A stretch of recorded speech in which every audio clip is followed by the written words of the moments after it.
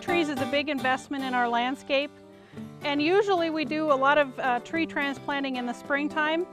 I actually have decided that I think the fall is a better time to plant because the earth is warm, the roots are getting well developed, and they continue to grow into um, the winter months as long as the soil stays warm. But this tree was transplanted in a late spring time frame. Many of our trees have been suffering from drought stress, and I think that that is because some of the roots were damaged in the transplanting process. So the roots are not fully developed enough to be able to take up water to keep up with the moisture that is lost through the leaves in the photosynthesis process just during the heat of the day.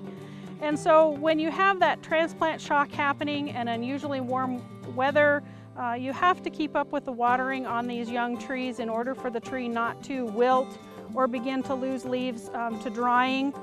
This tree has had to have water almost every day in order to keep up with the water loss that the leaves are having. Once things cool off in the fall, I'm sure that this tree will uh, recuperate and the roots will continue to grow like they would if it were transplanted in the fall and develop a really good root system that will sustain it into the years to come. I'm Donna Hoffman with the University of Wyoming Extension, and you're watching From the Ground Up.